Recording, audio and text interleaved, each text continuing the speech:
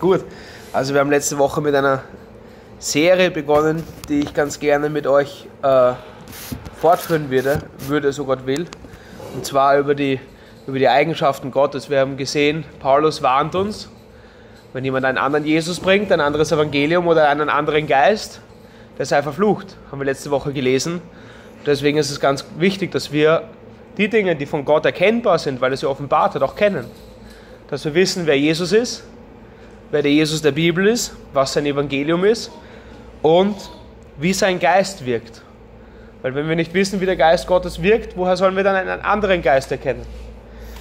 Und das soll heute unser Thema sein. Wir möchten uns heute mit ein paar grundlegenden Dingen über die Natur und das Wesen und die Person des Heiligen Geistes beschäftigen. Aber zuerst, ich glaube, ich habe letzte Woche eine ganz wichtige Sache äh, vernachlässigt. Wir haben gesehen, dass Gott in sich selbst alles hat, dass er der dreieine Gott ist, der alle Freude, alle Fülle, alles Leben in sich hat. Und deswegen, wenn wir das verstehen, dass Jesus Christus und der Geist und der Vater in alle Ewigkeit eins waren, perfekte Liebe untereinander haben, perfekte Leben, perfektes Leben geteilt haben, perfekte Fülle ohne einen Mangel geteilt haben, dann wird das Werk von Jesus Christus in unseren Augen größer, wenn wir verstehen, dass zum ersten Mal in aller Ewigkeit Jesus Christus von seinem Vater getrennt war und diese Beziehung unseretwegen zerrissen wurde. Das ist so ein wichtiger Punkt und ich habe letzte Woche wegen all der Sachen, die gesagt wurden, doch glatt vergessen, das nochmal zu erwähnen. Also das ist auch eine, eine Sache, warum es so wichtig ist, sich diese Eigenschaften Gottes auch mal vor Augen zu führen. Weil wir nur darin, wenn wir sehen, wer Gott ist, auch sein Werk für uns mehr und mehr begreifen können, was es bedeutet, dass Jesus Christus Mensch geworden ist und dass er am Kreuz vom Vater verstoßen wurde. Und das ist auch das, was Jesus Christus im Garten von Gethsemane gefürchtet hat. Er hat gesagt, lass diesen Kelch von mir weichen. Und dieser Kelch sind nicht die Schläge der Römer gewesen und nicht die Nägel und nicht die menschlichen Schmerzen, sondern dieses, dass Jesus Christus zum ersten Mal vor aller, seit der Ewigkeit her von seinem geliebten Vater getrennt werden sollte und dass sogar sein Zorn gegen ihn kommt. Ja, es ist nicht nur genug gewesen, dass Jesus getrennt wird, sondern dass sich auch der Vater im Zorn, den wir verdient haben, gegen Christus wendet. Also, wenn wir verstehen, dass Jesus Christus seit aller Ewigkeit perfekte Liebe mit dem Vater ist, dann macht es dieses Werk nochmal um ein ganzes Stück erstaunlicher. Heute möchten wir uns ganz gerne mit der Person des Heiligen Geistes beschäftigen. Und ich sehe, wenn man sich so mit den Christen unterhält, dass obwohl wir als, als Pfingstler sehr viel aus dem Heiligen Geist machen, doch unter uns ein sehr, sehr großes Verständnis vom Heiligen Geist fehlt und wie er wirkt. Und deswegen möchten wir uns das heute gerne anschauen. Schauen wir uns an, 2. Korinther, äh, 1, Entschuldigung, 1. Korinther Kapitel 2, Verse 9 bis 11. 1. Korinther Kapitel 2, Verse 9 bis 11 und sondern wie geschrieben steht, was kein Auge gesehen und kein Ohr gehört hat und keinem Menschen ins Herz gekommen ist, was Gott denen bereitet hat, die ihn lieben. Uns aber hat es Gott geoffenbart durch seinen Geist, denn der Geist erforscht alles, auch die Tiefen Gottes. Denn wer von dem Menschen kennt die Gedanken des Menschen, als nur der Geist des Menschen, der in ihm ist? So kennt auch niemand die Gedanken Gottes, als nur der Geist Gottes. Der Heilige Geist ist der Geist Gottes. Er ist ein Teil von Gott. Und deswegen kann er uns auch von Gott offenbaren. Dem Heiligen Geist ist von Gott nichts, offen, nichts verborgen, weil er Gott ist, weil er Teil der Dreieinigkeit ist. Nun, was bedeutet das? Wir haben hier im Jakobus, nicht aufschlagen, ich habe es aufgeschrieben, es ist nur ein Vers, im Jakobus 1, Vers 17 steht, jede gute Gabe und jedes vollkommene Geschenk kommt von oben herab, von dem Vater der Lichter, bei dem keine Veränderung ist, noch ein Schatten infolge von Wechsel. Das bedeutet natürlich, dass Gott in Ewigkeit sich nicht verändert und gleich ist. In, Gott ist keine Veränderung. Nicht in der Zeit, aber auch nicht unter den Personen. Versteht ihr, was ich meine? In Gott gibt es keine Veränderung und keinen Wechsel.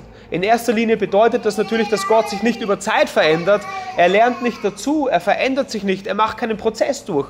Aber gleichzeitig bedeutet es auch, dass in Gott keine Veränderung ist. Also die drei Personen der Trinität, Vater, Sohn und Geist, unterscheiden sich in ihrer Person. Ja, sie sind drei verschiedene Personen, drei verschiedene Charaktere mit drei verschiedenen Wirkungsbereichen aber trotzdem sind sie eins und es ist keine Veränderung unter ihnen. Das bedeutet, der Heilige Geist, der Sohn und der Vater haben alle drei dieselben Eigenschaften. Wir haben letzte Woche von der Einheit Gottes geredet und wir werden, so Gott will, auch von anderen Eigenschaften Gottes noch sprechen. Und wenn wir das tun, dann müssen wir immer im Hinterkopf behalten, dass zwischen Vater, Sohn und Geist, was diese Eigenschaften betrifft, kein Unterschied ist. Ja, wir haben in der katholischen Kirche so die Vorstellung, ähm, dass der Vater zornig ist und dann haben wir Jesus, der den Vater besänftigen will und da ist so dieser Konflikt zwischen den beiden. Ja, der Sohn, der den Vater besänftigen will, der Vater will uns verdammen in seinem Zorn, aber der Sohn ist lieber und will ihn beruhigen. Das ist nicht Gott. Gott ist in sich eins. Das bedeutet, die Ziele des Vaters sind die Ziele des Sohnes. Der Zorn des Vaters gegen die Sünde ist der Zorn des Sohnes und der Zorn des Geistes gegen die Sünde. Die Liebe des Vaters für die Menschen ist die Liebe des Sohnes und die Liebe des Geistes. In Gott gibt es keinen solchen Widerspruch, wie die katholische Kirche sich das vorstellt. Das ist wichtig, dass wir das im Hinterkopf behalten, ähm, weil oft ebenso ein Bild entsteht, dass der, dass der Geist weniger heilig ist. Die Leute in der, vor allem in der charismatischen Bewegung, ja, ich habe Jen Johnson gehört, sie sagt, der Heilige Geist ist ihr begegnet als blauer als blauer, wie so ein blauer Flaschengeist und er ist lustig und er macht blöde Witze. Das hat sie gesagt, das ist der Heilige Geist.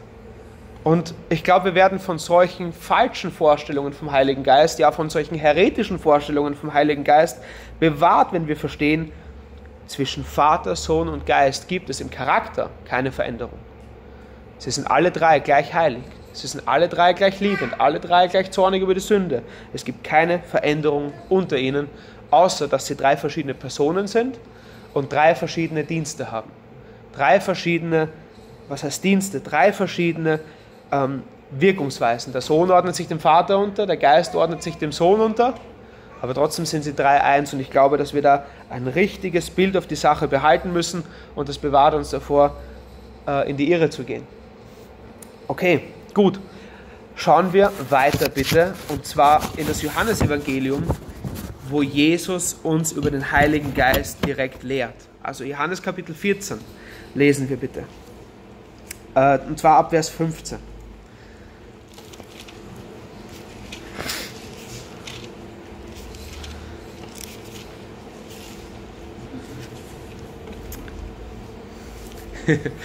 J-O-H.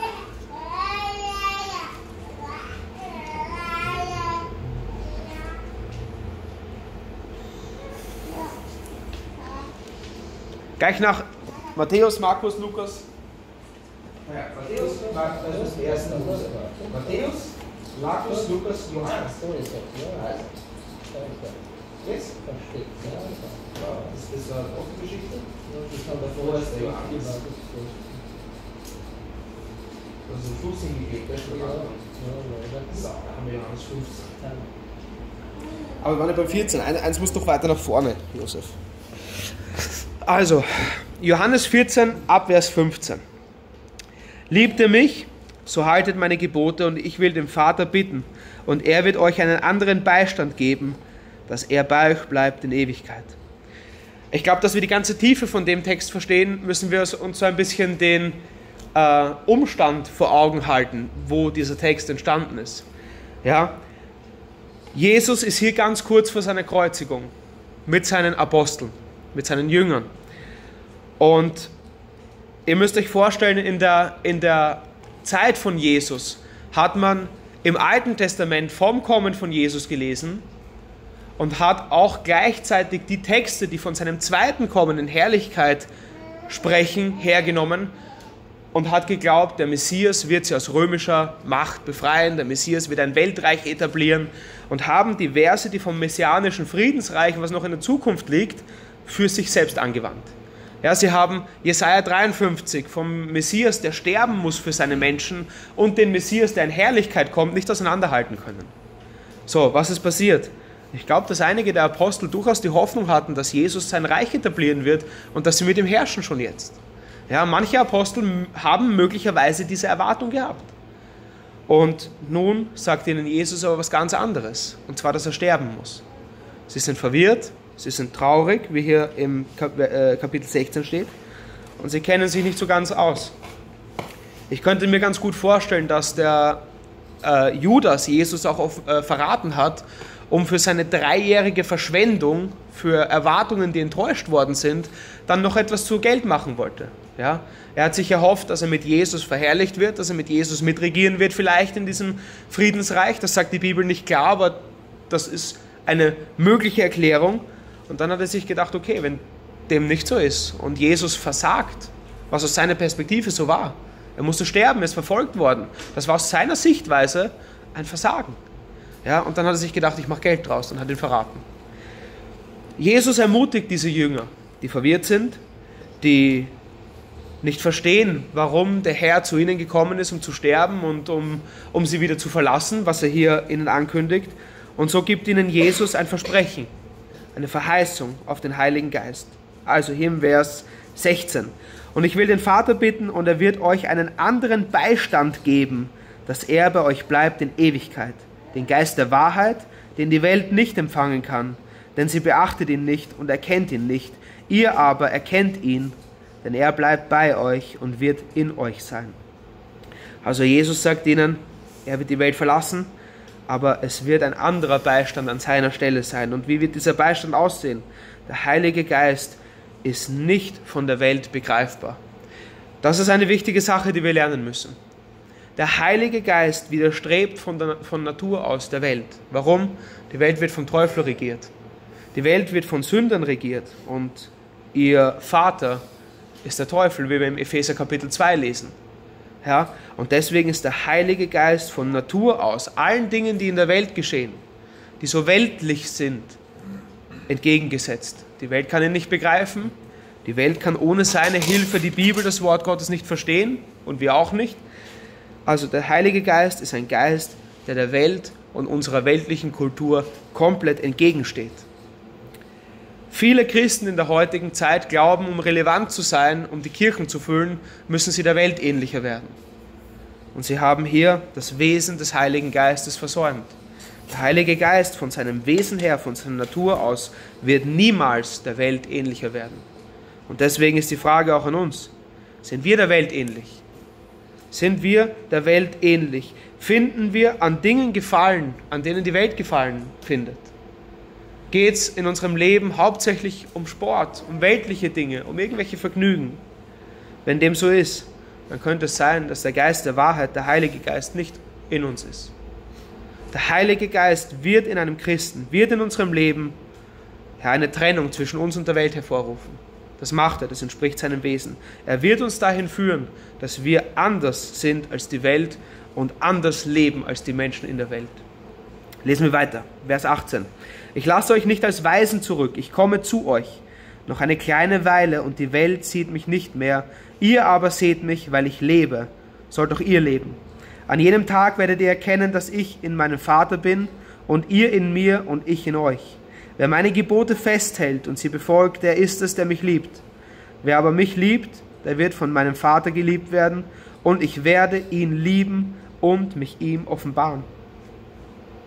Auf diesem Vers beruht immer das Gebet, das ich für uns bete, dass der Herr uns mehr von Christus offenbart. So viele Menschen, und wieder hake ich auf der charismatischen Bewegung rum, so viele Menschen in der charismatischen Bewegung wollen vom Himmel sehen, berichten von Reisen im Himmel und, und alle möglichen wunderbaren Sachen. Und dann schaut man ihre Leben an und man sieht, dass sie nicht heilig leben. Dass sie, wie Todd Bentley zum Beispiel, andere Frauen haben als ihre eigene Ehefrau. Was für einen Schluss finden wir dann? Sie leben im Betrug. Es ist nicht der Heilige Geist, der sie leitet. Warum? Weil hier verspricht Jesus, dass wer ihn liebt und seine Gebote hält. Also er sagt, wer ihn liebt, der wird seine Gebote halten. Wenn wir sagen, dass wir Jesus lieben, aber wir halten seine Gebote nicht, dann lügen wir. Dann lieben wir Jesus nicht.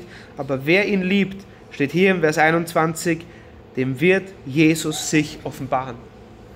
Und das ist meine Hoffnung, das ist mein Gebet. Ich bete, dass der Herr Jesus Christus uns ein größeres und größeres Bild von ihm schenkt wer er ist, was er getan hat. Das ist der Treibstoff unseres christlichen Lebens. Wenn wir erkennen, wer Christus ist und was er getan hat und darin all unsere Freude finden, das bringt uns vorwärts, das motiviert uns. Deswegen bitte ich, dass der Herr dieses Versprechen wahr machen möge unter uns und uns diese Offenbarung von sich schenkt. Vers 22, da spricht Judas, nicht der Iskariot, Ischariot, zu ihm, Herr, wie kommt es, dass du dich uns offenbaren willst und nicht der Welt? Jesus antwortete und sprach zu, zu ihm, wenn jemand mich liebt, so wird er mein Wort befolgen, und mein Vater wird ihn lieben, und wir werden zu ihm kommen und Wohnung bei ihm nehmen. Hat Jesus die Frage von, von Judas beantwortet. Judas fragt ihn, Herr, wie kann es sein, dass du dich nur uns offenbarst und nicht der Welt? Und Jesus sagt zu ihm, der Vater und ich werden kommen. Und er impliziert damit genau diese Antwort, dass der Vater und der Sohn der Welt entgegenstehen und weil der Heilige Geist zusammen mit dem Vater und dem Sohn Wohnung in uns nehmen durch den Heiligen Geist, so können wir auch die Welt nicht, so kann, so kann auch die Welt den Geist Gottes nicht empfangen und wir können auch nicht weltlich sein, wenn wir diesen Geist haben. Es ist Gottes Natur und die Natur des Sohnes, dass sie den bösen Machenschaften der Welt komplett entgegenstehen. Hier steht auch, dass ähm, der Vater und der Sohn durch den Heiligen Geist in uns Wohnung nehmen. Also, der Heilige Geist ist in uns, ist repräsentativ, ein schwieriges Wort, für Vater und Sohn. Und ich glaube, das ist eine erstaunliche Sache. Wir lesen da so rüber, aber ihr dürft nicht vergessen, Jesus spricht zu Menschen, die des Alten Testamentes kundig sind. Die Apostel haben verstanden, dass als Jesaja dem Vater begegnet ist, dass er fast gestorben wäre. Und all die anderen Propheten auch, die dem Vater begegnet sind, sind gestorben. Jesaja hat gesagt: Wehe mir, ich vergehe. Also, wie kann dieser dreieine Gott in uns Wohnung nehmen und wir bleiben am Leben? Ich glaube, hier in diesem Vers und in einem, den wir noch lesen werden, müssen wir verstehen, was der Unterschied zwischen dem Heiligen Geist im Alten und im Neuen Testament ist. Ich habe vor, vor zwei, drei Wochen mit einer Bekannten, äh, äh, die nach Kanada ausgewandert ist, geschrieben, eine ganz liebe Freundin aus, aus meiner Kindheit.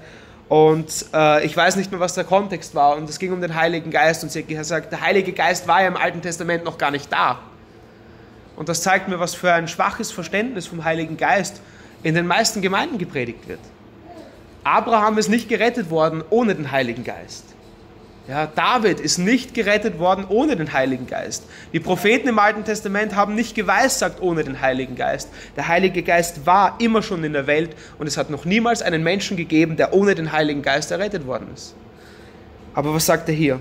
Jesus antwortete und sprach zu ihm, wenn jemand mich liebt, so wird er mein Wort befolgen und mein Vater wird ihn lieben und wir werden zu ihm kommen und Wohnung bei ihm machen. Und das ist genau das Versprechen über den Heiligen Geist des Neuen Testamentes. Wie kann es möglich werden? Ganz einfach, durch die Vergebung von Jesus Christus am Kreuz. Kennt ihr das Gleichnis von, von Lazarus und dem reichen Mann? Es ist ein kleiner Exkurs, ihr werdet gleich sehen, wie es mit unserem Thema hier zu tun hat. Als Jesus das Gleichnis berichtet von Lazarus, der stirbt, und der reiche Mann stirbt auch, und sie sind beide im Sheol, im Totenreich. Also sie sind beide im Totenreich, aber wir sehen, im Totenreich gibt es einen Teil, wo die Verlorenen aufbewahrt werden fürs Gericht und einen zweiten Teil, und das wird getrennt durch einen großen Graben. Dieser zweite Teil heißt der Schoß Abrahams, wo die Toten, die gläubig waren, getröstet werden bis auf Christus hin. Und dann lesen wir bei Paulus. Paulus sagt, zu gehen, zu sterben heißt präsent sein bei Christus. Das heißt, wir können annehmen, dass Jesus, als er tot war, ins Totenreich gegangen ist und all die Gläubigen die gehofft haben auf Christus hin, aus dem Schoß Abrahams in die Herrlichkeit zum Vater mitgenommen hat. Ich glaube nicht, dass wenn wir sterben, noch in den Schoß Abrahams kommen, weil mit dem Tod von Jesus Christus ist die trennende Wand zwischen Gott und den Menschen weggegangen. Und deswegen mussten die Menschen nicht mehr an einem tröstenden Ort aufbewahrt werden, sondern es war erledigt. Sie sind gereinigt von ihren Sünden und sie können zum Vater. Und das ist genau das, was wir hier auch sehen. Im Alten Testament war das war das Erfülltsein mit dem Heiligen Geist, mit dem dreieinen Gott nicht so möglich, weil die Reinigung durch das Blut von Jesus Christus nur hinschauend geschehen ist, aber noch nicht eingetroffen ist.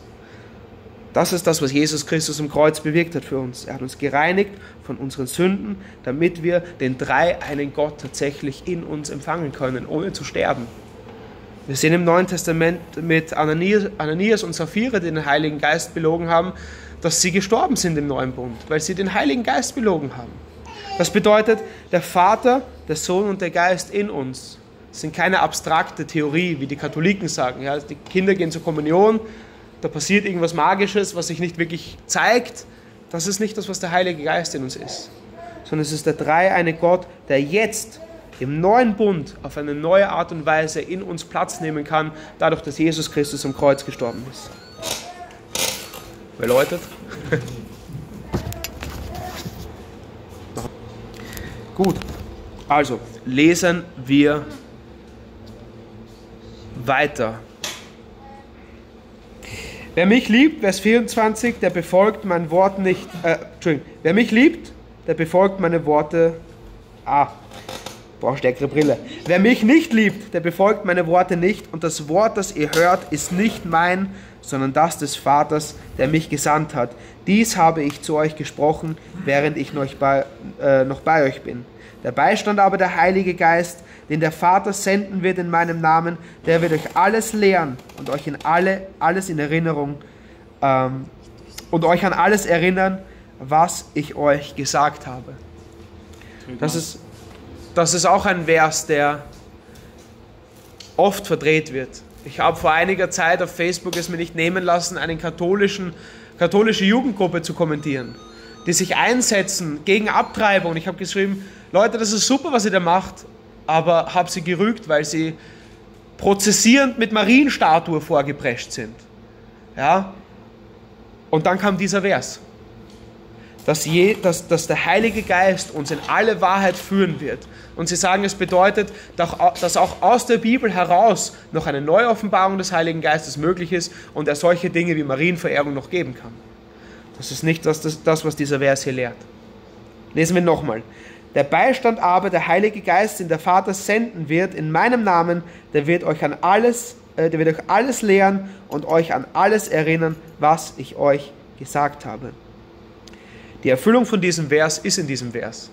Johannes hat, als er diese Worte von Jesus gehört hat, nicht mitgeschrieben, sondern später haben die Augenzeugen von Jesus all das niedergeschrieben, woran sie der Heilige Geist erinnert hat, dass Jesus es gesagt hat. Seht ihr das? Erstens das. Zweitens werden wir heute noch einen zweiten Vers lesen, wo es heißt, dass der Heilige Geist uns in mehr Wahrheit führen wird, als Jesus jetzt offenbaren kann. Und das ist passiert, Freunde. Wir haben hier Paulus und Petrus, die das Werk von Jesus Christus mehr ausgelegt haben als Jesus selbst. Ja, wir haben in der Bibel die Erfüllung von diesem Vers dadurch, dass die Apostel bereits die Erklärung vom Heiligen Geist bekommen haben, was Jesus gesagt hat und im Römerbrief, im Epheser, im Korinther, in all diesen Briefen aufgeschrieben haben für uns. Es ist nichts anderes als das, was Jesus gesagt hat, aber es ist eine tiefere Erklärung in der Kraft des Heiligen Geistes. Versteht ihr das? Erstens das und zweitens bedeutet dieser Vers natürlich auch, dass wenn wir uns mit dem Wort Gottes sättigen und wir haben eine Situation, wo es gebraucht wird, uns der Heilige Geist erinnern wird an die Worte von Jesus sei es an die Worte von Jesus durch die Propheten im Alten Testament oder an die Worte von Jesus durch den Paulus im Römerbrief oder sei es durch die Worte von Jesus direkt in einem der Evangelien. Im Prinzip kommt die ganze Bibel von Jesus Christus, vom dreieinen Gott, ist sie eingehaucht. Also, primär heißt es, der Heilige Geist hat uns Briefe geschenkt ja, die uns die Theologie von Jesus Christus weiter erklären. Tiefer als Jesus das selbst getan hat, weil zu diesem Augenblick es keiner noch fassen konnte. Das bedeutet nicht, dass wir in der heutigen Zeit neue Offenbarungen haben, die sich mit dem Heiligen Geist widersprechen. Und wir werden das noch sehen. Schauen wir weiter bitte in äh, Johannes Kapitel 16, Verse 5 bis 15. Das ist nur eine Seite weiter. Also Johannes Kapitel 16, Verse 5 bis 15.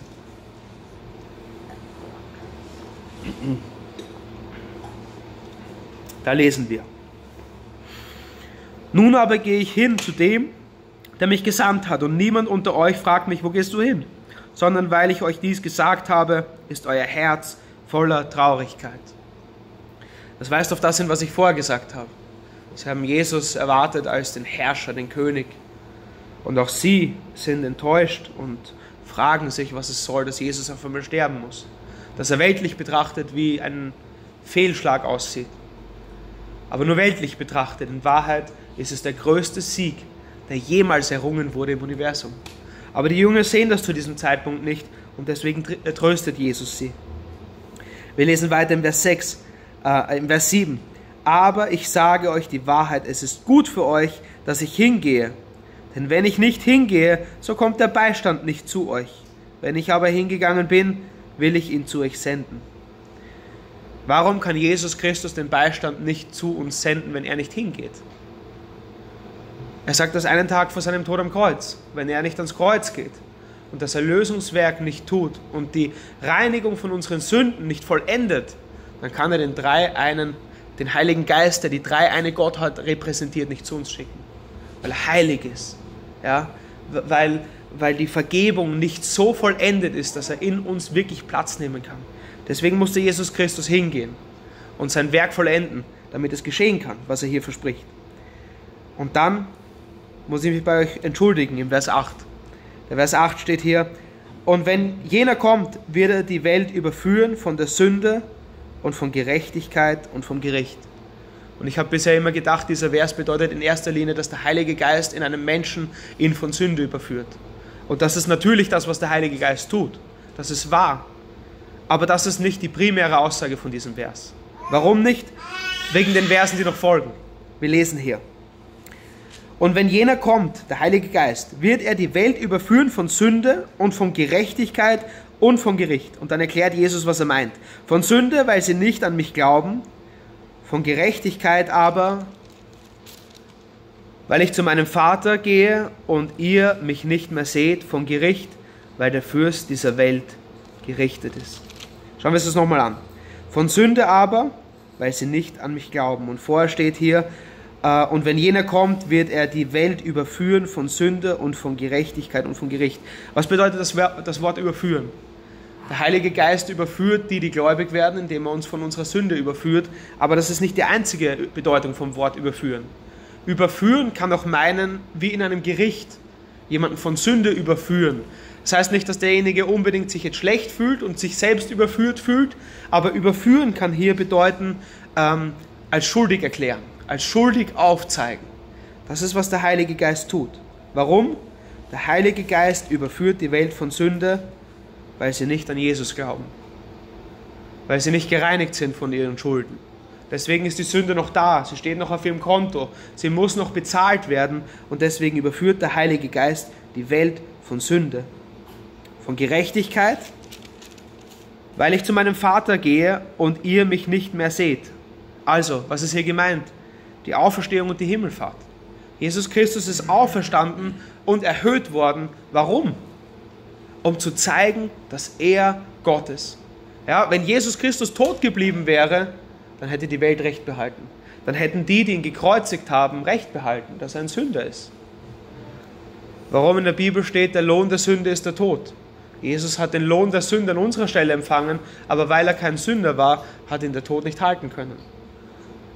Jesus Christus hat keine Vergebung und keine Gnade vom Vater gebraucht, die ihn wieder auferweckt, sondern weil er schuldlos ist, ist er wieder auferstanden und ohne zu sterben noch einmal beim Vater in den Himmel durch eine Entrückung aufgenommen werden. Also, wenn Jesus Christus gestorben wäre und tot geblieben wäre bis zum heutigen Tag, dann würde es zeigen, dass er ein Sünder ist wie du und ich, wie wir aber er ist auferstanden.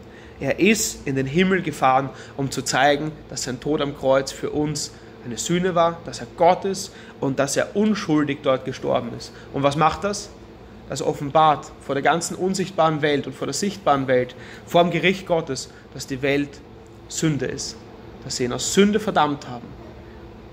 Das überführt und stellt die Welt als sündhaft dar, weil er auferstanden ist weil er gezeigt hat, dass sein Tod und seine Verdammnis, seine Nichtannahme von der Welt aus purem Hass Gott gegenüber, aus purer Ablehnung Gott gegenüber gekommen ist.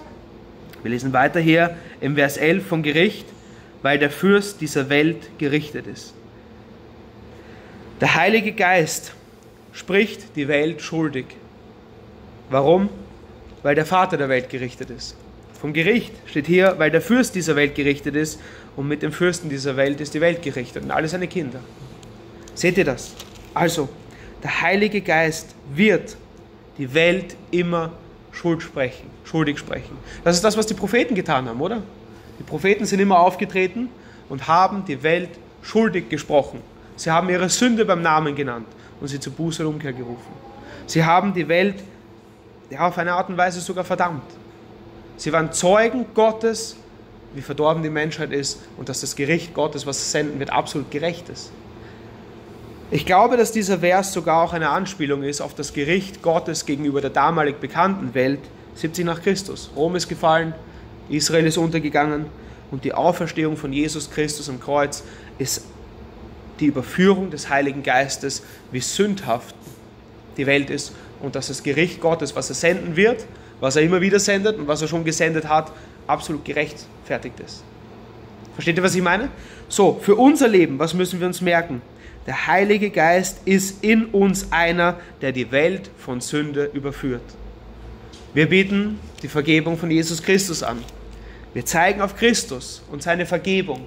Aber durch den Heiligen Geist sind wir Menschen, die mutig und ohne Scheu den Finger auf Sünde zeigen. Wenn jemand von uns sündigt, wenn jemand in der Welt sündigt, wir scheuen nicht, den Finger auf die Sünde zu legen. Das ist der Grund, warum die Apostel gestorben sind. Das ist der Grund, warum Johannes der Täufer seinen Kopf verloren hat, weil er durch den Heiligen Geist befeuert die Welt von Sünde überführt hat. Also, natürlich heißt dieser Vers hier auch, dass der Heilige Geist in uns uns von Sünde überführen wird, aber es bedeutet in erster Linie, dass der Heilige Geist in der Welt ein Zeuge für Gott gegen die Welt ist, dadurch, dass Jesus Christus auferstanden ist, dass die Welt wahrhaftig sündhaft und im Gericht Gottes würdig ist. Okay? Und in unserem Leben zeigt sich das darin, dass wir auf Sünde in Liebe und immer mit dem Blick auf den Christus, der vergeben kann, hinweisen und hinzeigen. Das ist wichtig, Freunde. Das ist ganz wichtig, weil in vielen christlichen Kreisen so diese Idee entstanden ist und ich war kürzlich damit konfrontiert, dass es lieblos ist, auf Sünde hinzuweisen. Ist es. Und hier lesen wir, dass es der Natur und dem Wesen des Heiligen Geistes entspricht, seinen Finger auf Sünde zu legen. Das ist das, was dieser Vers hier klar lehrt. Okay, also lesen wir weiter im Vers 13. Äh, nein, im Vers 12. Noch vieles hätte ich euch zu sagen, aber ihr könnt es jetzt nicht ertragen. Wenn aber jener kommt, der Geist der Wahrheit, so wird er euch in alle Wahrheit leiten. Denn er wird nicht aus sich selbst reden, sondern was er hören wird, das wird er reden, und was zukünftig ist, das wird er euch verkündigen. Und dann im Vers 14, er wird mich verherrlichen, denn von dem meinen wird er nehmen und euch verkündigen. Alles, was der Vater hat, das ist mein. Darum habe ich gesagt, dass er von dem meinen nehmen und euch verkündigen wird. Nun, hier lesen wir nochmal im Vers 12. Noch vieles hätte ich euch zu sagen, aber ihr könnt es jetzt nicht ertragen. Zu diesem Zeitpunkt war kein Raum da, den Römerbrief auszulegen, systematische Theologie auszulegen, verschiedene Bedeutungen vom Kreuz noch genauer auszulegen.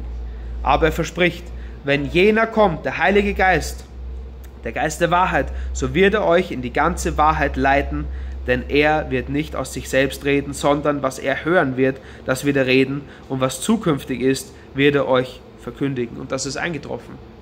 Ja, wir haben den Apostel Paulus und Petrus, die inspiriert vom Heiligen Geist uns durch diesen Geist in alle Wahrheit leiten. Wir haben ein größeres Verständnis hier in dem letzten Ende der Bibel von Jesus als noch hier diesem, auf dieser Seite. Das ist die Erfüllung von diesem Vers. Das bedeutet nicht, dass wir jetzt vielleicht eine Neuoffenbarung bekommen, und vielleicht jetzt Maria anbeten können doch. Das bedeutet es nicht. Das bedeutet, dass die Bibel in sich geschlossen ist. Ja? Und mit der Offenbarung haben wir auch ein Buch, was zu diesem Zeitpunkt auf die Zukunft hat, gewiesen hat. Also Jesus hat hier diesen Vers komplett erfüllt. Und zwar in unserer Bibel, mit den weiteren Seiten, die wir hier haben und den weiteren Kapiteln. Und dann steht etwas ganz Entscheidendes im Vers 14. Er wird mich verherrlichen.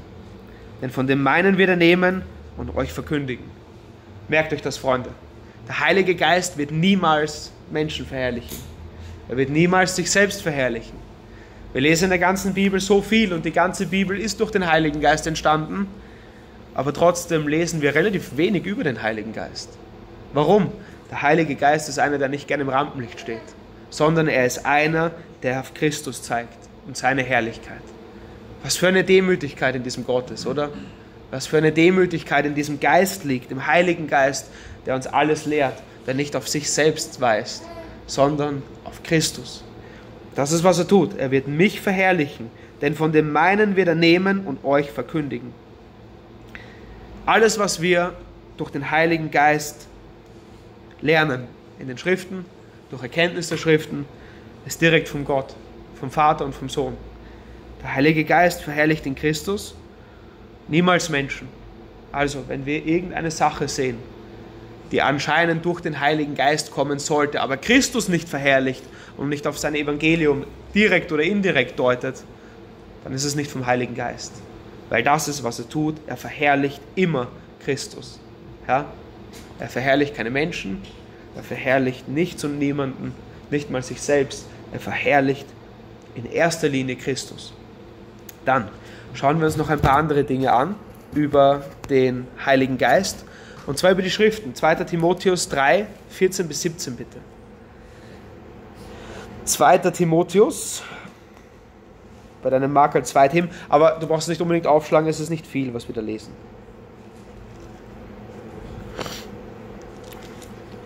2. Timotheus Kapitel 3, Verse 14 bis 17. Da spricht Paulus zu seinem Freund Timotheus. Du aber bleibe in dem, was du gelernt hast und was dir zur Gewissheit geworden ist, da du weißt, von wem du es gelernt hast. Und weil du von Kindheit an die heiligen Schriften kennst, welche die Kraft haben, dich weise zu machen zur Errettung durch den Glauben, der in Christus Jesus ist. Alle Schrift ist von Gott eingegeben und nützlich zur Belehrung, zur Überführung, zur Zurechtweisung, zur Erziehung in der Gerechtigkeit, damit der Mensch Gottes ganz zubereitet sei, zu jedem guten Werk völlig ausgerüstet. Also, wir sehen hier im Vers 16, alle Schrift ist von Gott eingegeben. Das Wort im Originaltext heißt Theopneustos, Gott gehaucht. Das ist das, was es wörtlich bedeutet. Es ist von Gott durch seinen Geist eingehaucht in Menschen. Wir leben in einer Zeit, wo Religionslehrer und andere Menschen so darauf bedacht sind, die Bibel zu kritisieren. Sie lesen im Jesaja, dass Jesaja Kyros vorhergesagt hat. Und sie sagen, das kann nicht sein. Jesaja konnte Kyros nicht kennen, weil er zu einer ganz anderen Zeit gelebt hat. Und was sagen sie? Klar, es gab zwei Jesaja. Ein Jesaja und ein Deutero-Jesaja. Der Deutero-Jesaja hat Kyros gesehen und dann diese Sache im Nachhinein dazu geschrieben. Was sagt Paulus hier über die Schriften? Nein, er sagt, sie sind alle eingegeben von Gott. Er sagt nicht aufpassen, hier ist was verändert worden, da oder dort, sondern Paulus und Jesus und alle anderen Apostel halten das Alte Testament für das unveränderbare Wort Gottes, das ernst zu nehmen ist und als von Gott kommend zu betrachten ist, so wie es da steht. Okay, also, alle Schrift, Vers 16, ist von Gott eingegeben, eingehaucht und nützlich zur Belehrung, zur Überführung, zur Zurechtweisung, zur Erziehung in der Gerechtigkeit. Ist es nicht so, dass wir Bibelschriften haben, die wir lieber mögen als andere? Oder? Wer mag die Klagelieder schon? Aber alle Schrift, die ganze Bibel, der ganze Ratschluss Gottes ist wichtig für uns, um uns zu belehren. Ja, wir können sogar aus den Geschlechtsregistern hier am Anfang unseres Neuen Testamentes sehen, dass Jesus Christus das Versprechen erfüllt, dass er der Sohn Davids ist. Und deswegen ist auch das nützlich zur Erbauung.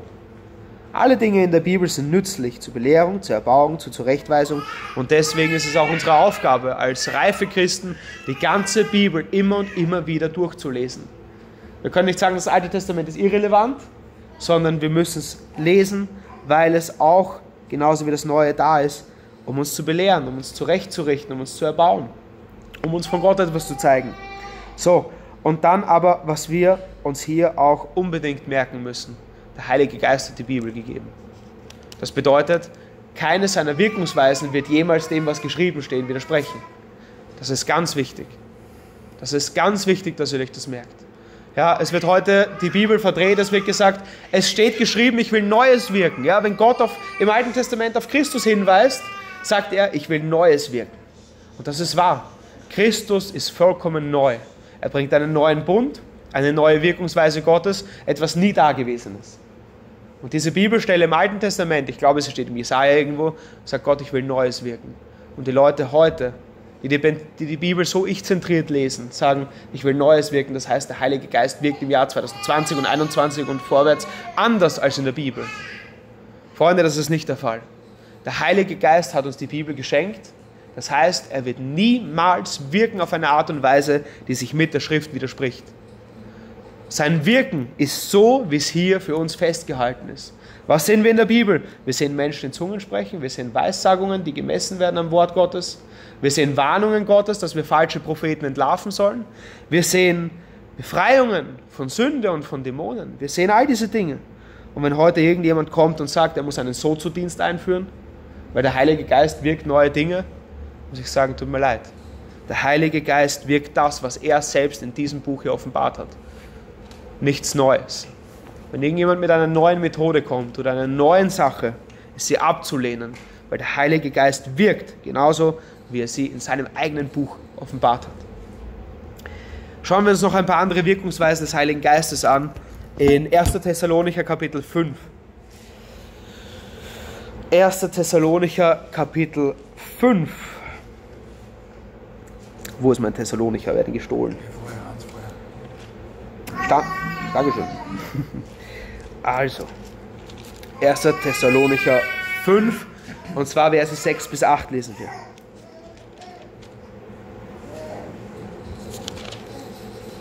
Es ist nicht viel, Josef. Wenn du es nicht findest, lass es. So lasst uns auch nicht schlafen wie die anderen, sondern lasst uns wach sein und nüchtern sein. Denn die Schlafenden schlafen bei Nacht und die Betrunkenen sind bei Nacht betrunken. Wir aber, die wir dem Tag angehören, sollen nüchtern sein, angetan mit dem Brustpanzer des Glaubens und der Liebe und mit dem Helm der Hoffnung auf das Heil. Also, die Menschen leben so, als würde Gott nicht sehen, was sie tun. Sie leben in der Finsternis, im Verborgenen. Zumindest glauben sie das. Wir aber, wir wissen, wir gehören dem Tag an, dass alle Dinge im Licht sind, die wir tun. Wir leben so, wie Menschen am Tag leben. Ja? Auch in der Welt, wenn jemand den Vormittag betrunken ist, heißt es sogar unter verdorbenen Menschen, schaut er den an, der ist am Vormittag betrunken. Warum? Es gibt gewisse Dinge, die nur nachts üblich sind zu tun. Unreinheiten, Ehebruch, im Schutz der Dunkelheit, ins Bordell fahren, all diese Dinge passieren nachts. Und wenn sie tagsüber passieren, sagt sogar aktuell noch, ich glaube, das wird auch bald vergehen, aber aktuell noch sogar die verlorene Welt, schaut dir das an, das gehört sich nicht am Tag.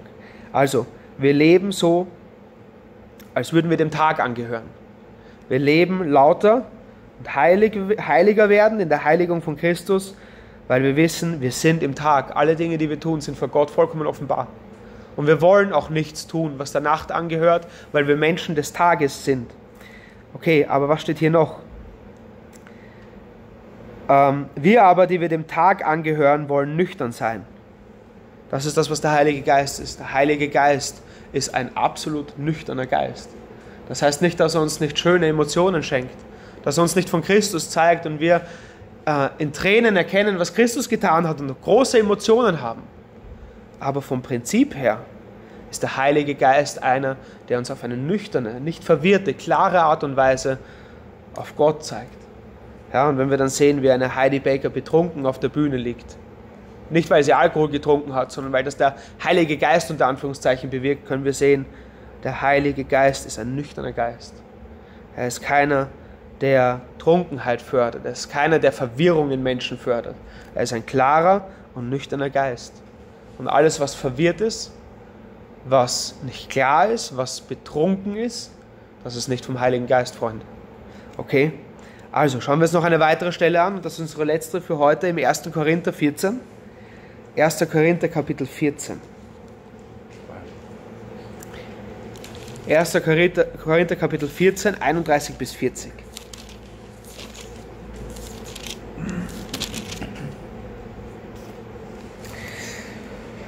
Also, ähm, da haben wir es. Da spricht Paulus über die Ordnung im Gottesdienst. Und da lernen wir auch ein paar Sachen über das Wesen Gottes. Da steht, denn ihr könnt alle einer nach dem anderen weissagen, damit alle lernen und alle ermahnt werden. Und die Geister der Propheten sind den Propheten untertan. Paulus rügt die Korinther und Korinth war vielleicht ein bisschen übercharismatisch wie viele Gemeinden heute. Da war Durcheinander, wenn Paulus sich berufen fühlt, sie zu ermahnen, dass einer nach dem anderen weissagt, können wir vielleicht darauf schließen, dass eventuell die Leute gleichzeitig geweissagt haben und durcheinander geredet haben und jeder hat sich vorgedrängt, seine Geistesgabe zuerst darbringen zu wollen. Das war der Kontext. Sie waren nicht ordentlich, sie waren wild. Und Paulus sagt, wenn Geistesgaben kommen, wie sollen sie geschehen? Sie sollen, sie sollen einen nach dem anderen geschehen, nach einer gewissen Ordnung, nicht durcheinander. Warum? Er sagt uns gleich warum. Und hier sagt er, die Geister der Propheten sind den Propheten untertan. Ich muss ehrlich sagen, ich glaube nicht, dass die Geister der Propheten andere sind als der Heilige Geist. Und der Heilige Geist ist in einem gewissen Sinne einer, der keinen Menschen drängt. In dem Sinne, wenn jemand etwas vom Heiligen Geist empfangen hat und ein anderer spricht gerade, so kann man nicht sagen, der Heilige Geist hat mich übermannt, etwas zu sagen, sondern er ist einer, der zulässt, dass wir schweigen, solange wir schweigen müssen und das, was er zu sagen hat, in einer ordentlichen, angebrachten Zeit sagen. Er ist keiner, der uns übermannt und uns zwingt zu sagen, was er uns geben möchte, sondern er gibt uns Offenbarungen von sich selber, er gibt uns Geistesgaben, ganz verschiedene, und es ist gegeben, dass wir diese anwenden, wenn es angebracht ist. Okay, dann, dann lesen wir weiter. Äh, Paulus sagt hier, warum das der Fall ist. Denn Gott ist nicht ein Gott der Unordnung, sondern des Friedens, wie in allen Gemeinden der Heiligen. Also Paulus sagt hier, überall gleich ist Gott ein Gott der Ordnung und ein Gott des Friedens. Er ist kein Gott der Unordnung und deswegen sollen auch unsere Leben und unsere Gottesdienste nicht wild durcheinander, sondern in Ordnung, in Zurückhaltung, in Liebe und in angebrachter Art und Weise und Manier stattfinden. Viele charismatische Versammlungen, wo Lachen im Geist praktiziert wird, wo wüste Ausbrüche des sogenannten Heiligen Geistes stattfinden, ähm, und man würde diese Bibelstelle zitieren, würde man rausgeworfen werden. Gott ist ein Gott der Ordnung. Und seine Gaben, die wir nicht verleugnen, wir glauben, dass Gott Gaben schenkt heute, die laufen gemäß dem ist, wer er ist. Sie laufen gemäß dem ab, wer er ist. Ein Gott der Ordnung. Sie laufen ordentlich ab. Also lesen wir weiter im Vers 34. Eure Frauen sollen in der Gemeinde schweigen, denn es ist nicht gestattet zu reden, sondern sie sollen sich unterordnen, wie es auch das Gesetz sagt. Wenn sie aber etwas lernen wollen, so sollen sie daheim ihre eigenen Männer fragen, denn es ist für Frauen schändlich, in der Gemeinde zu reden. Oder ist von euch das Wort Gottes ausgegangen? Oder ist es zu euch allein gekommen? Wenn jemand glaubt, ein Prophet zu sein oder geistlich, der erkenne, dass die Dinge, die ich euch schreibe, Gebote des Herrn sind. Also, das Thema Frauen in der Gemeinde. Paulus schreibt, Frauen dürfen beten, Weissagen, aber sie sollen sich unterordnen. Und ich glaube, wir müssen Unterordnung richtig verstehen, denn Christus ordnet sich dem Vater auch unter. So ordnet sich der Geist dem Sohn unter und wir dem Geist unter und dem Sohn. Also Unterordnung ist keine Machtbeziehung, sondern eine Frage von Ordnung und von Autorität. Wir haben darüber schon oft genug gesprochen, möchte jetzt nicht tiefer darüber eingehen. Aber auch das ist eine Bibelstelle, die in den meisten Gemeinden gänzlich verschwunden ist. Ja? Es ist den Männern gegeben, Pastoren zu sein und zu lehren. Und ich glaube, es ist eine große Schande, dass die meisten Männer nicht in der Lage sind, in ihren eigenen Familien rechtmäßig, rechtmäßig zu lehren. Ja, hier steht, dass die Frauen, wenn sie etwas wissen wollen, nicht aufplatzen sollen, nicht die Gemeinde aufhalten und stören sollen und fragen sollen, was gemeint ist. Ich glaube, bei uns in unserem kleinen Rahmen ist es etwas anderes, wenn jemand was fragt. Aber stellt euch mal vor, eine Gemeinde mit 100 Leuten, auf einmal springt dann auf, ich verstehe es nicht. Was ist das für eine Unordnung? Ich glaube, sowas ist hier gemeint. Und diese Frauen sollen daheim ihre Männer fragen. Ehrlich. Welche Männer sind heutzutage so weit, dass sie die Fragen ihrer Frauen echt beantworten könnten? Das ist eine Sache, in der wir täglich im Gebet sein müssen dass wir Männer sind, die unserem Haus auch recht vorstehen können in einer Sache, dass wenn theologische Fragen auftauchen, dass wir sie tatsächlich beantworten können. Dass wir Gott so gut kennen und sein Wort, dass wir auch wirklich die Fragen beantworten könnten. Klar, es kann nicht jede einzelne Frage beantwortet werden von uns, weil die Bibel einfach so unbegreifbar ist, aber es ist die Aufgabe von uns Männern, die Bibel zu kennen und Gott zu kennen und Hohepriester über unsere Familien zu sein. Und ich muss euch ehrlich sagen, ich bin so traurig. Es gibt so, so viele Beispiele, wo das absolut umgekehrt ist. Wo die Männer, wenn sie theologische Fragen hätten, zu ihren Frauen gehen müssten. Freunde, so soll es nicht sein. Sondern bemüht euch als Männer, als Hohepriester über euer Haus, die Extrameile zu gehen. Gott kennenlernen zu wollen. Die Schriften kennenlernen zu wollen. Und wenn ihr keine Pastoren seid und nicht predigt in der Gemeinde, dann nur deswegen, dass ihr eure Familie vorstehen könnt. Dass ihr eure Kinder in der Weisheit Gottes erziehen könnt und dass ihr ihnen von Gott etwas erzählen könnt. Das ist ganz, ganz wichtig und heute so vernachlässigt. Also, ähm, dann lesen wir weiter. Wenn jemand glaubt, ein Prophet zu sein, im Vers 37, oder geistlich, er erkenne, dass die Dinge, die ich euch schreibe, Gebote des Herrn sind. Das erinnert mich an etwas. Wir haben ja in unserer Gemeinde beschlossen, dass wir dem Korintherbrief folgen und die Frauen sich bedecken. Und das ist von allen Frauen so gewollt. Und das ist, glaube ich, etwas, das dem Herrn Freude bereitet, dass wir seinem Wort gehorchen wollen.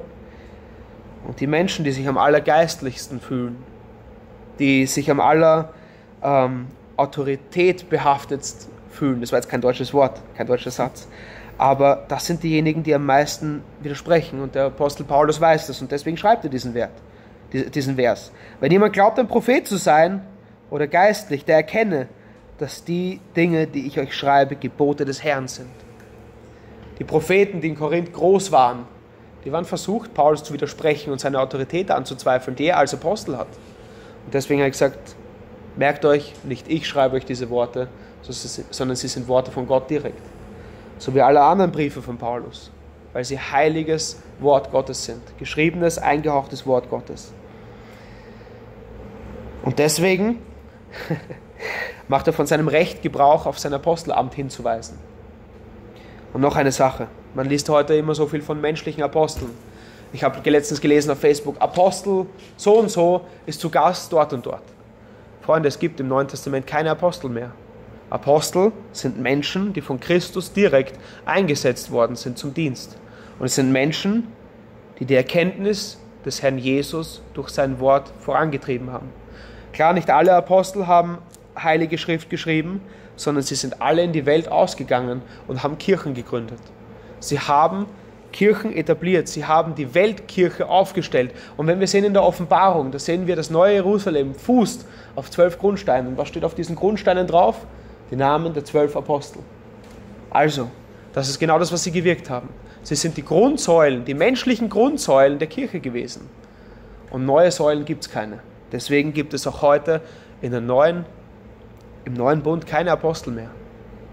Also jeder, der sich als Apostel bezeichnet, der ist einer, der sich mehr anmaßt zu sein, als er sein kann. Ich verstehe auch überhaupt nicht, wie man auf die Idee kommt, sich als Apostel zu bezeichnen. Amen, Bruder. Also Evangelist, ja. Ein Evangelist ist einer, der das Evangelium verkündigt. Oder ein Lehrer. All diese Dinge sind vorhanden. Wir haben viele Bibellehrer. Aber Apostel sind keine mehr vorhanden. Und deswegen kann Paulus, weil in Korinth keine Apostel sind, auch hier auf seinen Aposteldienst sich berufen und sagen, das sind nicht meine Worte, das sind die Worte Gottes direkt. Okay, also merkt euch heute, der Heilige Geist hat dieselben Eigenschaften Gottes, weil er ein Teil der Gottheit ist. Er ist Teil der drei einen Gottheit. Okay, und deswegen hat er die gleichen Eigenschaften Gottes. In Gott gibt es keine Trennung.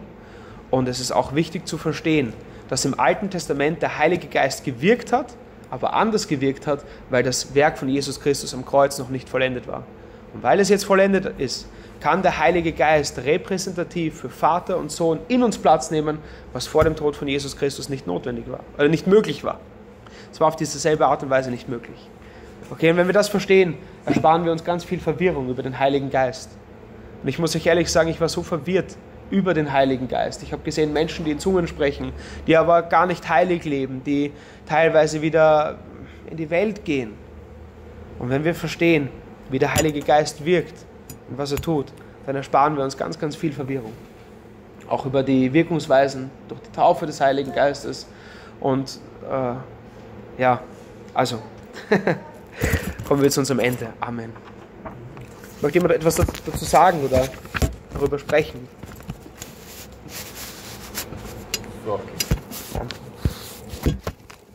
Nicht? Gut?